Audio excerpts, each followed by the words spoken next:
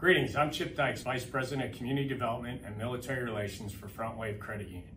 I'm a former drill instructor, retired Chief Warrant Officer 3. Last year, scammers stole nearly half a billion dollars from over 30,000 military personnel, veterans, and their families. As hard as you're working for your money, scammers are working just as hard to steal it from you. How do they do it? Primarily through identity theft and imposter scams. Scammers will ask you for your online credentials, social security number, verbal passwords, and even copies of your ID. Don't ever give anyone your financial credentials, passwords, or personal information. And don't ever send money to anyone you don't know, particularly online or through applications. To avoid getting your money stolen, here's what you need to do.